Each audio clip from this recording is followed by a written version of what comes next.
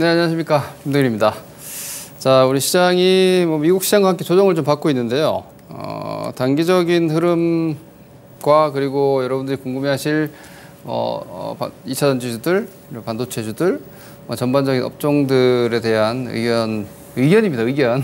주식시장에서 뭐 제가 이야기하는 게 다 맞을 리도 없고, 어, 근데 뭐 그런 것 같습니다. 이거 뭐, 이 자타는 모르겠고요. 제가 제가 제 나름대로의 제, 제 스스로 객관화를 하려고 항상 주, 식 전문가다 보니까 열심히 노력을 하는데 음 제가 항상 뭐 예상하는 주가 움직임에 한 열 번 중에 한 여섯 일곱 번은 맞는 것 같아요. 아, 그래서 저의 의견을 좀 드리겠습니다. 저는 절대로 제가 다 맞다고 생각하지 않습니다.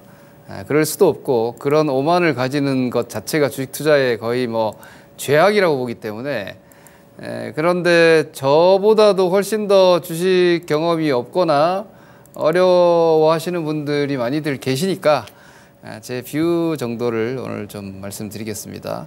자 일단 지금 시장이 조정이 나오고 있습니다. 시장 조정이 지금 음, 시작된 지가 뭐 며칠 됐습니다. 제가 지난주부터 약간 시장은 좀 쉬어갈 수 있고 미국 시장도 divergence 같은 게 나왔고 그러니까 제가 여러분들께 이 시간을 통해서 말씀은 드리지만 저는 시황도 그렇고 업종 섹터 전망도 그렇고 어, 전 실전 투자를 하고 있기 때문에 음, 그냥 막 이게 난사를 할 수가 없어요.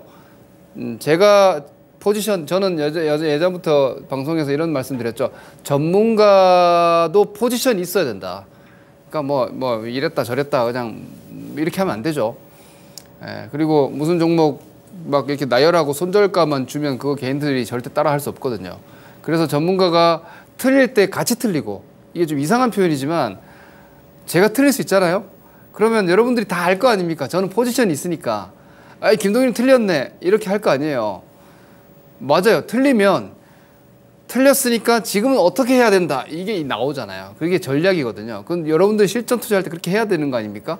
내가 주식 올라간다고 생각해서 샀는데 내려갔으면 이걸 손저, 손해를 보고라도 팔아야 될 만큼의 어떤 필요한 대응이 여기서 이루어져야 되는지 아니면 뭐 좀 기다려도 되는지 이것 또한 포지션이고 전략이잖아요. 그래서 저는 제 포지션을 좀 선명하게 하는 편이죠. 뭐 보셔서 아시겠지만. 그래서 가끔 틀립니다. 가끔 틀리고 예, 그래서 틀릴 때는 저의 의견을 참고하신 분들은 뭐 같이 틀리는 거예요.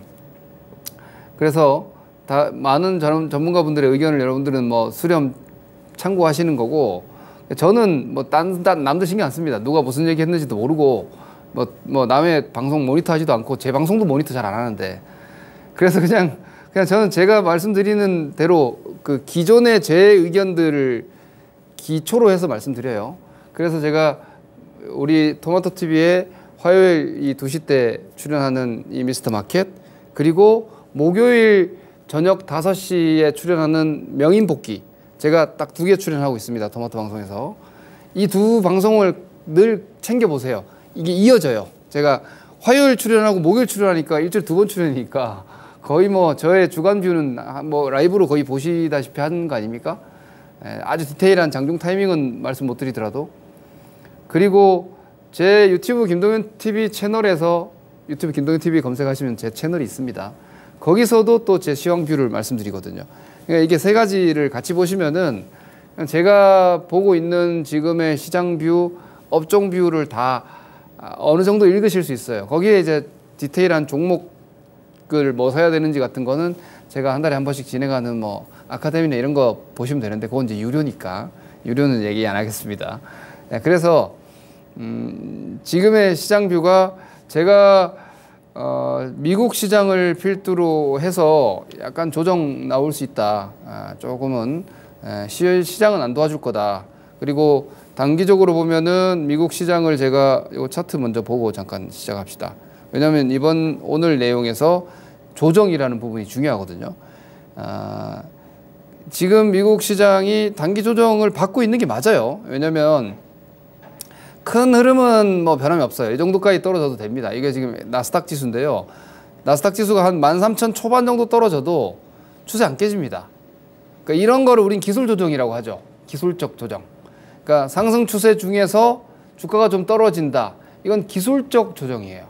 그러니까 많은 분들이 지금 코로나 팬데믹 이후에 시장을 겪다 보니까 작년에 여기서 많은 분들이 뭐 7천 스탁, 나스닥 7천 간에 뭐 이런 것 공포감을 가지고 주식 다 털렸잖아요, 여기서. 그 고퍼스 잡아가지고 뭐 정말 엄청난 고생들을 하고 계시는데, 어, 주식은 방향이 그렇게 획획 바뀌지 않아요. 제가 항상 말씀드린 방향이 제일 중요하다고. 그 방향은 여러분들이 생각하는 것만큼 그렇게 자주 쉽게 안 바뀝니다. 지금은 예를 들어서 지금 이게 나스닥의 제 월봉이 너무 기니까 주봉으로 보여드릴게요. 이 주봉이 1년 조정 이렇게 가격 조정 받았죠. 그리고 밑에서 기간 조정 이렇게 박스 베이스 잡아놨었죠. 그리고 돌아서서 이렇게 넘어가면서 추세 전환돼 있잖아요. 이렇게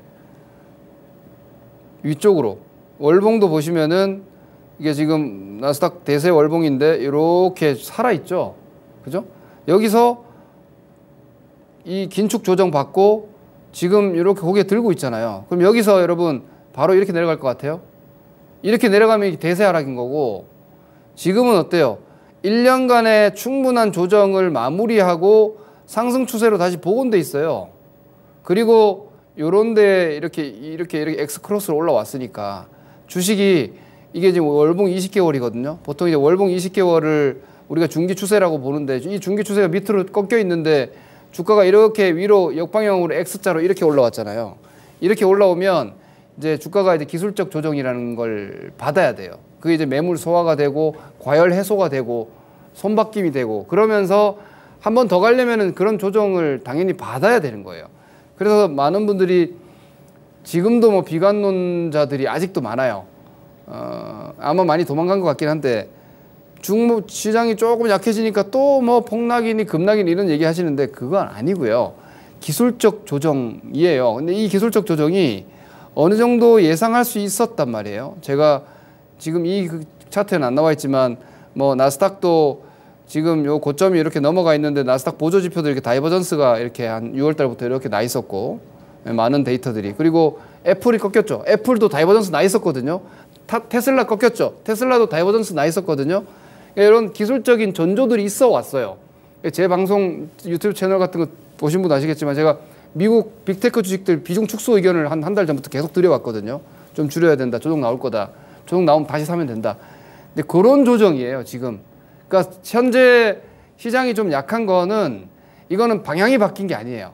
그러니까 조정인 거예요. 기술적 조정이라고 지금은 국면으로는 판단하는 게 맞는 거거든요.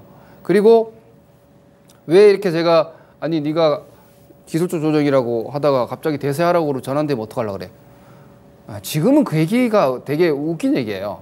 예, 뭐, 뭐 길에 걸어 다니다가 넘어지면 어떡할래? 집 밖에 나가지 마. 이런 똑같은 얘기입니다. 예? 자동차 사고 나면 죽, 사람 죽잖아. 차 타고 다니면 안 돼.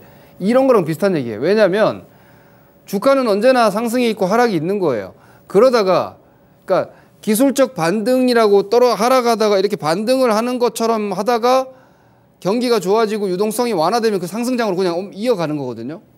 그리고 기술적 조정을 받다가 여기에서 만약에 뭔가 경기적인 크랙이 생기거나 어, 유동성이 다시 타이트해지는 여러 상황이 생기면은 레벨 다운돼서 좀 더 떨어질 수 있어요. 혹은 여기에서 뭔가 경제 시스템을 위협하는 이벤트 요인이 생기면 애매한 기술적 조정 받다가 그게 뚝 떨어져 가지고 하락 추세로 될 때도 있어요.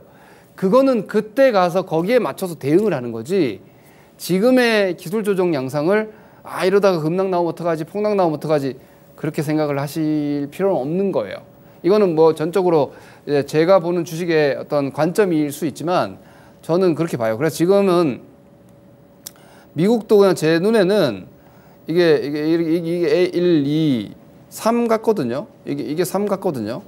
그리고 이게 1, 2, 3에 여기 4파동에 뭐 뒤에 이렇게 박, 박스 쪽으로 한 개 더 있을 것 같아요. 아, 뒤에 여기 바로 꺾이는 그림은 아닌 것 같거든요. 제가 볼 때는 이렇게 있으면 위에 한, 최소한 뭐 하나는 더 있지 않을까 이렇게 보여서 뭐 대세 하락이거나 그렇게 보이진 않고 뭐 미국의 인플레이션이 좀 스티키하게 예를 들어 이번 주에 CPI가 나오는데 그게 이제 헤드라인은 지난달 3.0이었는데 3.3으로 조금 높아질 걸로 우려하고 있어요. 왜냐면 유가가 올라가고 해서. 그리고 코어도 지금 4%대 중 후반에서 확 안 꺾이고 있잖아요. 그러니까 이런 점들이 음, 금리는 높지만 만약에 코어 CPI나 코어 PC가 4%대를 뭐 계속 유지하고 있다라면 이건 금리를 당장 못 내리거든요. 혹은 만약에 이러다가 유가가 올라가거나 하면은 다시 또 혹은 뭐, 어, 뭐 기후 위기 때문에 과거에 막뭐 허리케인이나 이런 것 때문에 물가가 한 번씩 튀었다가 막 문제가 생긴 적이 있거든요. 이런 것들 때문에 다시 물가가 튀기라도 해버리면 고금리 유지돼야 되니까 하여튼 뭐 장애물들이 많긴 해요. 하지만 지금의 상황이 어 뭔가 하락으로 대반전된다거나 이런 여지는 저는 별로 보이지 않거든요. 그러면 조정은 조정인데 그럼 크게 방향이 바뀌거나 심각한 훼손이 아니다. 기술적 조정. 예, 그거 그런 걸 기술적 조정이라고 하거든요. 그래서 그 기술적 조정을 저는 미국 나스닥 기준으로는 요 61선 위치하고 있고 지난번에 요 한번 매물 소화했던 요 6월 달에 매물 소화했던 요 한 만한만 삼천오백 정도인 것 같아요. 제가 여러분 이게 은근히 이런 게 잘 맞아요. 예전에 여러분들이 제 방송을 계속 보셨겠지만 제가 이때 나스닥이 만 포인트 있을 때부터 계속 나스닥 만 삼천까지 보인다. 제 눈에는 만 삼천까지 보입니다. 만 이천 때도 계속 그래서 만 삼천까지 저는 갈 수 있다고 봅니다. 그리고 나서 만 삼천 근방에 오면서 제가 그래서 이건 넘어간다. 그죠? 이렇게 넘어갔잖아요. 지금 기술적 조정 뭐 나와봐야 한만 삼천 오백 아니겠어? 이 정도 저는 여전히 봅니다. 그러면 현 시점에서 미국 시장 기준으로 보면은 나스닥이 미국 시장의 변동성이 제일 크니까 나스닥이 내려올 수 있는 최대 폭이 3.5%라는 얘기예요. 제가 보는 현재 뷰로는 그래요. 그러니까 나스닥이 내려올 수 있는 최대 최대 조정은 여러분 최대로 잡고 거기서 살려고 하면 안 돼요. 예를 들어 나스닥을 지수를 계약을 한 거래를 한다. 그럼 저는 제 기준으로 나스닥이 13,500 정도까지 조정이 보이면 저는 매수 목표가 13,500이 아니에요. 그러면은 음, 한 13,700 정도부터 사도 되겠네. 예, 이런 식인 거죠. 예, 왜 그래야지 그래야 살 수 있지. 13,500 오면 사고 나는 그러지 않으면 안 사겠다 하면 13,500 안 오면 못 사잖아요. 예, 그러니까 그걸 이제 딱 포인트를 잡는 어떤 분, 전문가 분들은 무슨 본인이 몇 포인트 맞췄다 이런 자랑하는데 저는 그게 무슨 의미인가 싶어요 사실은 그거 안 오면 어떡할까 뭐 그렇게 오만해 그죠? 그 한 포인트 한 포인트가 오지 않으면 그건 포지션 못 잡는 거예요. 그러니 매수의 영역과 매도의 영역은 여기쯤 여, 이 가격대쯤 이렇게 놓고 저는 실, 실전 그렇게 해야 된다고 생각하거든요. 그래야 그래야 뭐 사고 좀 내려오는 건 안 팔면 되니까 예를 들어서 13,500까지 나스닥을 봤는데 이건 그냥 가정이에요. 전, 전 지수 매매 안 합니다. 근데 나스닥 예를 들어서 제가 여러분들께 지금 나스닥 ETF를 좌표를 찍어 드리는 게 아니고 예를 들어 제가 13,500에 나스닥을 사겠다라고 이 정도까지 오겠네라고 예상을 했으면 저는 한 13,000원 뭐 700대 정도부터 삽니다. 예. 그리고 뭐 뭐 다 사버릴 수도 있고 그리고 밑으로 13,500 정도까지는 특별한 이벤트 없으면 그냥 안 팔면 되지 뭐 마이너스 한 1, 2% 그냥 견디면 되는 거지 뭐. 다시 올라갈 것 같은데 이렇게 간단 말이에요. 매도도 마찬가지예요. 어떤 주식이 제가 이번에 목표치 분석을 해보니까 에코프로가 155만 원이 딱 나왔어요. 그럼 저는 150, 에코프로 155만 원이 제가 보는 중기 기술적 마디에 딱 걸렸는데 그럼 저는 한 150, 150 정도나 140대 정도도 매도권이지. 목표치가 155가 나오면은 근데 물론 1차 120에서 155까지 점프하긴 했어요. 그럼 뭐, 예, 뭐, 한 130대나 140대 팔고 나서 그 위로는 그냥 안, 안 사면 되는 거 아니에요. 좀 아까워도 속 쓰리고 말면 되지. 나, 나 많이 먹었으니까. 그리고 기다려서 어디서 살까를 계산하고 있다가 또 원하는 가격대에 사면 되는 거예요. 아, 아, 여러분들은 좀 약간 지금 얘기가 헷갈릴 수도 있겠네. 저는, 음, 제가 여러분들 아시다시피 저 주도 업종 잘 안 바꾸잖아요. 저는 2차 전지 끝났다 반도체 사세요를 안 하는 사람이잖아요. 계속 2차 전지입니다. 반도체 저는 밑에 삼성전자를 제가 5만 원대는 사시라 그랬죠. 그죠? 하이닉스 7만 원대 제가 사라 그랬죠. 나스 저 네이버 19만 이하 제가 사라 그랬죠. 그건 제가 뭐라 그랬어요? 싸니까 안 올라가더라도 올라갈 때까지 기다릴 분들 사놓으세요. 근데 생각보다 빨리 올라온 거잖아요. 그걸 팔아 파시라. 삼성전자 이익 실현 의견 드렸잖아요. 난 반도체 너무 빨리 올라왔다고 생각한다. 근데 반도 2차 전지는 뭐라고 말씀드려요? 주도주는 변함없다. 다만 과열이다. 과열이다. 시장이 막 붐업했지만 과열이다. 양극재 과열이고 에코프로 비행 과열이고 포스코 홀딩스도 나중에 미래 가치가 어떻든 간에 아직까지 리튬 현금화 시키는데 시간이 좀 걸리는데 너무 과열 아닌가? 종목당 거래 대금이 4조씩 나오는 걸 계속 할 수는 없어. 우리 시장에 예탁금이 55조니까. 그러니까 한국 시장의 고객 예탁금이 55조인데 에코프로 거래 대금 하루에 5조, 에코프로 BM 6조, 응? 에코프로 4조, 포스코 홀딩스 6조. 어떻게 이렇게 계속 거래 터지냐고. 그죠? 그러면 아 이건 과열이다. 그럼 과열 매도 해놓고 지금 과열 진정됐잖아요. 주가가 40% 30% 떨어져서 지금 과열 아니거든요. 그럼 이제부터 다시 또 저가 매수죠. 왜? 음, 수급적으로 과열했던 거지 산업이 과열인 건 아니에요. 그렇잖아요, 여러분. 제가 늘 이야기하죠. 주식, 시장, 사람을 따로 따로 따로 구분해서 판단을 해야 돼요. 2차 전지 산업이 과열이에요? 2차 전지 산업 과열 아니에요. 장기 성장 초동기예요, 여전히. 저는 지금보다 2차 전지 산업은 내년도 혹은 2027년도까지 캐펙스 대충 잡혀 있는데 그것보다 저는 두 배 이상 더 커진다고 보거든요. 왜냐하면 단순 계산해보면 그렇게 나와요. 어, 자동차 침투율 50, 제가 50%로 계산을 하는데 저는 나중에 뭐 사람들 장밋빛으로 보는 사람들 100%라고 하지만 저는 인간의 그 헤게모니와 인식을 바꾸는 데는 한 세대가 걸릴 거라고 저는 보기 때문에 그 내연기관이 완전히 전기 동력으로 바뀌는 데는 시간이 아직까지 많이 걸릴 거예요. 그래서 저는 50%의 침투율을 대략 기준을 잡고 있는데 지금의 2027년까지 캐펙스는 20%밖에 커버를 못 해요. 그럼 50% 가려면 두 배 이상 더 커져야 된다고. 그러니까 전기차 2차전지 산업은요 아직까지 성숙 국면이 결코 아니에요. 예, 성장 국면에서 뭐 수주 나올 나오면 올라갔다가 계약 계약 나오고 올라갔다가 계약이 이제 텀을 두고 이렇게 이게 점프 점프 점프하면서 계약이 나오니까 계약 공백기나 이럴 때는 주식 좀 쉬겠죠. 지금처럼 또 수급적인 뭔가 이렇게 예, 뭐 군중 심리든 뭐든 생기면 와 올라갔다가 과열 나왔다가 좀 쉬겠죠. 당연한 거 아닙니까? 주식 원래 그렇게 움직이는 건데. 그런 상황이에요. 그래서 그 제가 지금 얘기를 뭐 하다 보니까 이런저런 업종 2차전지까지 얘기를 해버렸는데 이런 조정은 자연스러운 거예요. 예, 너무 막 예, 극단적으로 뭐 좀만 떨어지면 맨날 폭락이니 급락이니 이런 걱정하지 마시고 그리고 뭐 2차전지가 고점에서 과열이 좀 나왔다고 뭐 폭락을 하는 애 왜 주식시장이 요즘 뭐 정치도 너무 극단적이고 세상이 모르겠습니다. 예전보다 훨씬 극단적이 되어 있고 그리고 뭐 세대 간의 갈등도 심하고 계층 간의 갈등도 심하고 이런 사회적인 현상 때문이라고 저는 좀 생각을 하는데 주식 시장에서의 많은 투자자들의 어떤 투자 심리나 혹은 멘탈리티 자체가 너무 저는 극단적이라고 좀 과하게 극단적이라고 생각해요. 그건 되게 조심해야 하고 경계해야 되는 겁니다. 투자자는 스스로 냉정하기 위해서 계속 노력해야 되고 스스로를 자기 객관화해야 되지만 이 내가 속해 있는 시장도 어느 정도의 객관성을 가지고 보려고 애써야 됩니다. 그걸 다 할 수는 없겠지만. 그래서 저는 지금의 투자들이 좀 음, 뭐랄까 2차전지 가진 사람들과 2차전지 못 가진 사람들. 2차전지 가진 사람들은 2차전지 조금만 안 좋게 얘기하면 막 좌표 찍어갖고 욕합니다.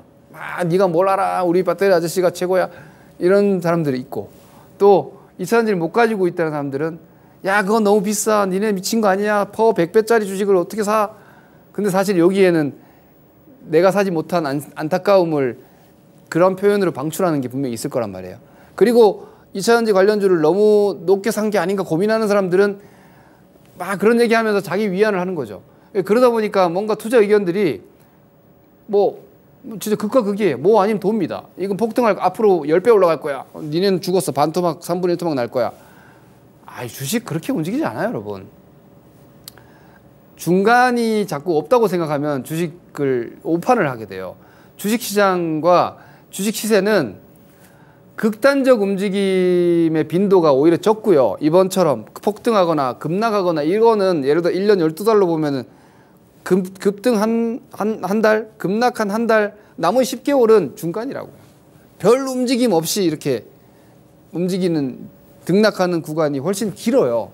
근데 그건 자극이 적고 한두 달 많이 올라가고 많이 떨어지는 거는 강력한 자극이다 보니까 그 변동성에 자꾸 매몰돼서 너무 과판단하게 되는데 에, 큰 흐름과 작은 변동을 좀 구분을 해서 보셔야 돼요. 그래서 내가 아, 그큰 흐름을 보고 갈 것인지 작은 변동도 대처를 하면서 움직일 것인지 저는 좀 다, 작은 것도 대처하려고 하는 사람이고 저는 제가 이게 직업이니까 맨날 보고 있고 저는 어느 정도 여러분들보다는 잘 보이는 편이니까 근데 그걸 잘 못하는 분들은 그냥 큰 방향으로 가세요 주식 시장도 마찬가지예요 자 조정장은요 종목 압축의 기회가 돼요 원래 어, 좋은 종목들을 선별할 수 있는 시점, 그러니까 선별이 아니지. 초기에 선점할 수 있는 시점은 시장 조정기예요. 시장 조정기. 시장 조정기가 그래서 주식을 열심히 연구하는 투자자거나 전문가들은 조정기에 바빠요. 조정기에 볼 게 많아요. 어, 종목도 많이 살펴야 되고 내가 갖고 있지 못한 다른 좋은 주식들이 막 태동합니다. 조정기에. 그게 어떤 거냐면 조정기라는 거는 시장이 2,700에 있다가 2,500까지 떨어지는 거예요. 2,700에 있다 2,500까지 떨어지는 거예요. 그럼 여러분들은 하, 힘들어서 막내 주식 어떻게 돼야 될지 이것만 고민을 하시는데 혹은 뭔가 현금을 갖고 있는 분들도 야 장 떨어졌다. 뭐가 제일 많이 떨어졌어? 이게 되게 초보적 발상이에요. 아, 부동산은 그렇게 해야 돼요. 부동산은 부동 아 부동산도 어떻게 보면 부동산도 어떻게 보면 뭐, 뭐 좋은 블루칩군에서 하는 게 맞긴 한데 주식은 제가 가격 갖고 하는 게 아니라 그랬죠. 회사는 영업 활동을 하는 이익 단체, 이익 집단이기 때문에 기업이라는 건 아, 현재 이, 이 이익 집단이라는 기업이 얼만큼 이익을 영위하는 영업 환경을 가지고 있고 얼마나 지금보다 앞으로 더 강, 강하고 큰 현금 흐름을 만들어낼 수 있는지를 기준으로 판단을 해야 되는 거예요. 주가가 10만 원에서 5만 원까지 많이 떨어진 걸로 여러분들이 자꾸 의사결정을 하기 때문에 자꾸 소외주 내지는 시장에서 가장 약한 종목에 자꾸 엮여 들어가는 겁니다. 제가 이전부터 늘 말씀드렸죠. 좋은데 쌀 수는 없다. 싼 거는 그냥 비지떡이다. 아, 세상에 싸고 좋다고 하는 물건은 대부분 불량 사기품이다. 라고 제가 얘기하죠. 어, 근데 주식시장에서 좋은데 싸지는 유일한 경우가 조정장이에요. 시장이 약할 때는 좋은 주식도 못 가요. 그래서 이익이 계속 좋아지고 있는데 주가가 붙잡혀 있어요, 시장에. 그런 종목들이 조정장에 딱 보입니다. 그래서 여러분들이 이런 조정장에서는 내 주식 갖고 막 머리만 쥐어 뜯고 있을 게 아니라 지금 시장에서 좋은 산업들인데 내가 그동안은 뭐 못 샀든 안 샀든 어쨌거나 놓친 것들 중에서도 그렇고 혹은 내가 몰랐던 종목들도 그렇고 실적과 이익이 좋은데 더 올라가야 되는데 시장이 조정받고 시장이 전반적으로 분위기가 안 좋아서 좀 발목 잡혀 있는 주식들 예, 그런 종목들을 사야 돼요. 그리고 혹은 그런 종목들을 보고 있다가 시장 조정이 마무리 딱 되는 것 같잖아요. 그럼 무조건 그 주식이 먼저 올라갑니다. 그때 쫓아가야 돼요. 그러면 주도주를 초반에 잡을 수 있어요. 이거는 대, 역사적으로 모든 조정장이 빠져나올 때 항상 그래 왔어요. 그래서 이런 것들을 볼 수 있는 좋은 방법은 물론 여러분들이 산업 공부를 많이 해야 돼요. 주식 시, 매크로만이 아니라 업황 업황도 공부를 많이 해야 되고 어, 그 업종에서 종목들이 예를 들어서 지금 2차전지 하시는 분들은 뭐 에코프로, 에코프로BM, 포스코퓨처엠, 뭐 포스코 홀딩스, 뭐, 뭐 LG 에너솔루션, SK 이노베이션, 삼성 SDI, 뭐 코스모 그룹주들, 뭐 PNT를 필두로 해서 장비주들 이런 것들 다 꿰고 있어야 돼요. 아, 이 회사가 뭐 하는 회사고 지금 현재 실적이 밸류가 어느 정도 수준이고 이걸 다 꿰고 있어야 돼요. 그러면 이제 그런 주식들의 내용을 읽고 있으면 시세를 쫙 보면 보이거든요. 아, 이거 잘 버틴다.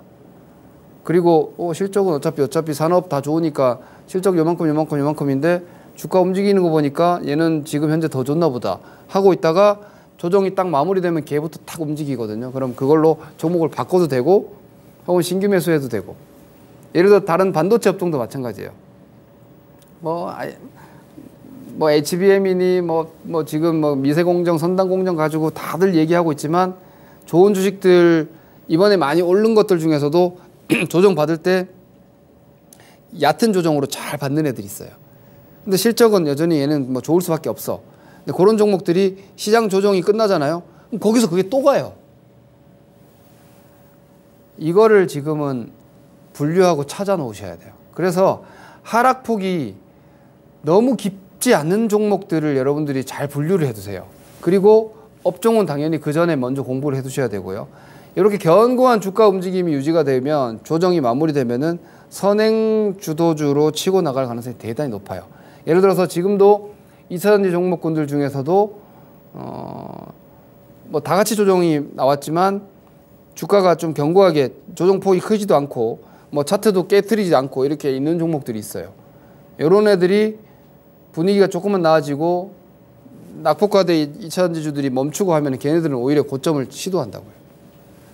이 업종 내에서 주도 선, 종목 선병화를 하는 방법이고 시장 안에서 다음 주도주를 포착하는 방법인데 사실은 다음 주도주라는 건 주도주가 바뀐다는 전제인데 바뀌진 않을 거예요. 아마 지금의 성장주 안에서 계속 움직일 것 같은데 그리고 조정 시에 자꾸만 제일 많이 떨어진 거 사지 마세요. 이건 진짜 제가 조언 드리고 싶은 거예요. 조정장에서 시장이 좀 떨어질 때 제일 많이 떨어지는 건 제일 약한 거예요. 제일 약한 거예요. 그런 거는 올라올 때 오히려 제일 무거워요. 개인 투자자들이 제일 많이 사기도 하고 해서 그런 것도 있지만 뭐 지나치게 고평가이거나 실적이 잘 안 나온다거나 그런 주식들이 많이 떨어져요. 그건 당연한 순리예요. 그래서 여러분들이 이 가격으로 자꾸 접근하시려는 어떻게 보면 고정관념에서 빨리 빠져나오셔야 된다. 이번에도 보셨지 않습니까? 좋은 건 쌀 수 없다. 2차 전지 얼마나 강합니까? 쌉니까? 오히려 비싸지. 근데 여러분들이 생각하는 비싸다. 명품 쌉니까? 비싸지. 갖고 싶잖아요. 그런데 함부로 갖지 못하잖아요. 너무 비싸니까. 그러니까 명품인 거예요. 주도주 아무나 초보 투자자가 다 살 수 있으면 그게 주도주예요. 그거는 이제 꺼, 끝나는 주식이지, 꺾인 주식이지. 그러니 좋은데 시장이 약해서 좀 쉴 때가 기회가 되는 거예요. 이번에 2차 전지도 이렇게 조정받고 할 때 또 기회가 되는 거라고요. 그러니까 저는 사실 중기로 보면은 아직도 2차 전지를 2023년도 8월 달까지 아직도 2차 전지를 한 번도 못 하신 분들은 이번 조정을 이용해서 발을 담그는 게 맞다고 생각해요. 지, 지금도. 아니 뭐 에코프로 BM이 40%가 떨어졌는데 포스코 표처엠이 40%가 떨어졌는데 그러니까 40%가 떨어졌으니까 저가 매수해야죠. 끝났다고 막 아 막 막 끝났다고 끝났다고 아 니네 물린 애들 야구로지 이게 아니라 저 좋은 산업이 과열에 들어갔다가 과열이 해소됐으면 지금부터 다시 또 기회가 오지 않을까 이렇게 생각을 해야죠. 이런 것들 오히려 음, 선별하고 포트폴리오를 재구성하는 기회로 이 조정 구간을 활용하시기를 그리고 말씀드렸다시피 언제나 성장주에 투자해야 되는 조정 기회도 이런 성장주를 계속 보셔야 되는 이유는 싼 주식은 시장이 싸지자 시장이 조정을 받잖아요. 그럼 이 주식이 싸지 않잖아요. 또 떨어지는 거예요. 예를 들어서 싸다는 주식은 시장이 이만큼 올라갔는데 얘는 못 올라갔기 때문에 싼 거잖아요. 근데 시장이 내려와. 그럼 얘 안 싸잖아요. 더 내려가요. 그죠? 그럼 얘는 언제 올라갈 것 같아요? 시장이 이만큼 올라가면 다른 거 다 올라가고 나서 어, 얘는 못 올라왔네. 이건 너무 싼 거 아니야? 제일 마지막에 올라가요. 잘못 보고 계신 거예요. 주식을 자꾸 가격으로 가격으로 싼 거 싼 거 싼 것만 찾으면 그 자꾸 꼴등 주식만 하는 거예요. 자꾸만. 그 각별히 주의하셔야 됩니다. 긍정적인 성장뷰를 성장, 성장, 성장. 여러분들 성장에 대한 아, 난 나이가 많아서 난 자산이 커서 그래서 뭐 자꾸 안정적으로 싼 주식 가치주를 찾는다? 그거는 어떻게 보면은 좀 죄송한 말씀이지만 잘 몰라서 그래요. 어, 제가 이 바닥에 30년 가까이 있어 보면서 연세가 많다고 해서 자산이 많다고 해서 욕심 적지 않아요. 절대. 인간의 욕심은 돈이 많거나 남녀노소 뭐 어린애들이 사탕 먹고 싶어 하는 것도 욕심이잖아요. 남녀노소 지위고와 학력을 아우러서 거의 다 평준화예요. 다 비슷해요. 100억 갖고 있는 분들은 100억 갖고 있는 만큼 욕심이 있어요. 10억 갖고 있는 분들은 10억 갖고 있는 만큼 욕심이 있고 1000만 원 갖고 있는 분들은 1000만 원만큼 욕심이 있는 거예요. 연세 중요하지 않아요. 80대, 90대 분들도 중장기 투자합니다. 왜? 주식을 그 성장으로 볼 줄 아니까. 그래서 성장을 무슨 뭐 빅테크 나는 잘 모르는데 모르면 자제분들한테 물어보세요. 저 엔터주 지난주에 사야 한다 그랬죠. 저 우리 딸애들 초등학생, 중학생 딸애들한테 아이돌 맨날 물어봅니다. 얘는 얘는 어때? 인기가 많아? 친구들 좋아하는 애들 있어? 제가 이번에 하이브를 추천을 했어요. 네, 아카데미에서도 조정 시 하이브 사야 된다. 그리고 어, 오늘 하이브 실적 나왔죠. 제가 생방송 얘기해서 죄송하지만 가지고 올라갔다가 떨어지니까 우리 생방 회원님들이 질문하시는 거예요. 실적 잘 나왔는데 팔아야 됩니까? 주가 떨어지는데 아니요. 실적 잘 나왔기 때문에 이거 차익은 소화하고 다시 올라갑니다. 왜? 성장이 계속 되니까. 성장이 계속 성장이 계속 되니까 BTS를 대체할 뉴진스라는 그룹이 나왔고 남자 아이돌도 지금 막 인기를 구가하고 있으니까 이익이 밀도가 유지가 되니까 주가 안 빠지는 거예요. 그럼 조정 시에 매수죠. 이번에 엔터주 기술적 조정 나왔잖아요. 이런 거예요. 이런 게 그냥 성장이라고. 성장이라는 게 막 어려운 게 아니에요. 회사가 지금보다 돈을 더 벌 것 같다. 그게 성장주예요. 지금은 전력기기, 변압기, 송배전 기 업들 다 성장주예요. 왜? 미국의 인프라 투자, 전력망, 전기차 배선 만들어 올고 친환경 투자해야 되는 거 다 송배전이잖아요. 그 인프라 투자가 엄청나게 밀려 있거든요. 그러니까 앞으로 실적이 당분간 그쪽은 좋을 수밖에 없잖아요. 그게 성장주예요. 성장주가 별게 아니에요. 지금보다 앞으로 실적이 잘 나올 것 같은 게 성장주예요. 그러니까 추가적으로 계속 좋아질 것 같은 거 그것만 고민하면 되는 거예요. 지금의 주가가 막 동요, 동요 요동치지만 제가 여러분들이 제일 궁금해하실 2차전지 중에 변동성 제일 큰 양극재 보고 잠깐 말씀드릴게요. 자, 제가 에코프로 BM으로 한번 보여드릴게요. 에코프로는 뭐 이번에 에코프로 BM 플러스 났네. 자, 이게 주가가 이렇게 많이 올랐어요.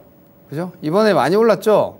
그러니까 여기는 과열이었어요. 이 거래 대금이 너무 많아요, 여기가. 그러니까 이 거래 대금을 소화하는데 시간이 제가 볼때몇달 걸릴 거예요. 예, 그 몇 달이 걸리지만 여기는 과열이었는데 40%가 떨어졌죠. 전 고점 레벨에서 멀지 않은 구간까지 지금 조정이 나왔잖아요. 그럼 여기는 무서운 자리가 아니에요, 여러분. 여기는 이제 무서운 자리가 아니라고요. 2차전지 다시 또 매수권 들어왔다고요. 다만 직전 편향 버리세요. 이렇게 못 들어갑니다. 예, 단기적으로 이렇게 못 들어갈 겁니다. 대신 한두 달 기다리면은 요 레벨까지는 다시 갈 수 있어요. 그러면 지금 시점에서 기대 수익률이 한 20% 나와요. 아주 좋은 구간이에요. 아래로는 단기 손절 안 해도 돼요. 아, 아래로는 단기 손절 안 해도 돼요. 주식을 여러분 맨날 손절합니까? 어떤 사람들은 손절 잘해야 된다고. 손절 잘하면 깡통차입니다. 손절 너무 잘하면 안 돼요. 손절을 안 해도 되는 구간에서 손절을 안 해도 되는 주식을 살 줄 알아야지. 뭘 자꾸 차트만 보고 하니까 손절 계속 하는 거 아니에요. 얼마 깨지면 손절, 얼마 깨지면 손절. 뭐 장난치는 거야. 내 돈을 그냥 여러분 얼마 깨지면 손절은 한 10만 원 가지고 장난칠 때 하는 거예요. 근데 천만 원, 이천만 원, 1억, 2억, 3억 넣어가지고 무슨 깨지면 손절, 깨지면 손절이야. 손절 2천만 원, 3천만 원 날라가는데 손절을 안 해도 되는 구간을 기다려서 주식을 사는 거고 손절을 안 해도 되는 주식을 사면 돼요. 그거는 성장주를 해야 되는 거예요. 제가 말씀드렸죠. 에코프로 BM이 이렇게 성장 궤적이에요. 이렇게. 제가 그냥 이, 이 주봉으로 보여드릴게요. 이걸로 그냥 오늘 마무리합시다. 자, 이게 로고 차트입니다. 로고 차트가 뭔지는 그냥 공부하세요. 제가 지금 그것까지 설명 못 드리고. 자, 에코프로 BM이라는 회사의 성장 궤적은 이렇게 돼 있어요. 지금 제가 볼 때는 이렇게 돼 있어요. 이게 에코프로의 장기 성장 대세선이에요. 요거는 뭘까요? 요거는 여기는 이게 시황 주식 시장이 안 좋아서 올라가야 되는 자리에서 붙잡혀 있던 거예요. 그거를 커버가 들어와 가지고 여기서 올해 연초에 급등한 거고 지금 이렇게 성장 궤적에서 뭐 대세 라인이 아래쪽에 조금 더 아직 공간이 있긴 한데 뭐 30을 크게 이탈하는 구간이 아니에요. 지금의 성장 궤적에서는. 그러면 지금 30 초반 들어왔잖아요. 별로 리스크가 크지 않다고 지금은 오히려. 여기는 너무 과했지. 여기는. 여기는 별로 위험한 구간이 아니에요. 여기는 사가지고 버텨도 돼요. 왜? 아니 양극재 앞으로 얼마나 많이 더 쓰일 텐데. 제가 말씀드렸잖아요. 지금의 셀 기업들의 생산 CAPEX, 생기 셀 기업들의 생산 CAPEX만큼 양극재 생산 계약이 돼 있는 거니까 그게 지금 전기차 침투율 20%밖에 커버를 못 한다니까요. 전기차 침투율이 30% 40% 되면은 셀 기업들 전기 완성차 전기차 업체들은 셀에 셀 추가 계약해야 되고 셀 업체들은 양극재 추가 계약해야 돼요. 그럼 리튬 더 필요하고 내려와서 사는 건 안전한 거예요. 이쪽 산업은. 예, 이런 식으로 접근을 하시면 되는데 그거 이제 좀 디테일하게 들어가서 어디서 팔아야 되냐 사야 되냐 이거는 기술적인 부분이고 테크니컬한 부분이니까 그것까지 뭐 제가 위클리로 말씀드릴 수는 없고 이번에 제가 이번에 이거 안 샀죠. 아, 말씀드렸다시피 알고 있죠. 제가 양극재 이번에 고점에서 추가적으로 권하지 않은 거 비싸다고 생각했으니까. 근데 지금 30분인데 괜찮아요. 음. 물론 진짜 펀더멘탈로 보면 30도 조금 부담스럽긴 한데 성장 뷰가 확실하니까 30 초반은 걱정 없거든요. 그러면은 시장 지수가 2,570대인데 주도주군인 전지 쪽 소재 2차 전지 섹터가 다시 하단 박스 하단 들어왔단 말이에요. 그럼 장은 별로 위험하지 않은 거예요. 그럼 오히려 다시 또 2차 전지 사야 되는 구간이 지금 됐다는 거죠. 제가 말하는 건 2차 전지 급등한다는 얘기가 아니에요. 매수 영역에 들어왔다는 얘기지. 그러면은 그동안 2차 전지가 급락했기 때문에 반대급부에서 올라온 네이버나 이런 건 단기 매도해야 되는 거예요. 아 그런 식이에요 지금 장세가.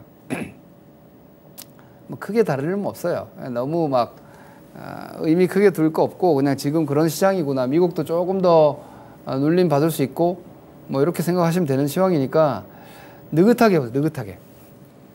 2차전지 가격 조정권이니까 일부 소외주 반등 순환 예, 마무리 국면입니다. 핵심 주군 단기 가격 조정 목표치 근접했습니다. 느린 반등, 하, 예, 느린 반등. V자로 팍 올라가는 게 아니라 찍고 박스 이렇게 박스. 근데 지금 박스의 하단권역으로 들어오기 시작했다. 예, 2차 전지주가 급락해서 다른 종목들이 올라간 것들은 시세 약화될 거다. 이렇게 보시고 미국 증시가 기술 조정이 좀 더 나올 수 있으니까 아, 시장의 상승 기대감이나 속도도 조금 좀 느긋하게 천천히 보셔야 됩니다. 그리고 핵심 성장 반도체 소부장 일부당 일부와 2차전지 뭐 셀 장비 그리고 소재도 이제 저가 매수권 들어왔어요. 제가 여기 소재는 소, 지난주까지 제가 소재는 천천히 보시라고 계속 말씀드렸잖아요. 소재 소재를 오늘부터 제가 저가 매수 의견 드립니다. 셀 장비는 해도 됩니다 여전히. 그리고 엔터주 계속 가시고 뭐 건, 어, 건설기계, 전력망 계속 하세요. 안, 안 무너집니다 쉽게. 그리고 의료기기나 헬스케어 쪽에서 현금 흐름이 실질적으로 늘어나고 있는 기업들 있죠.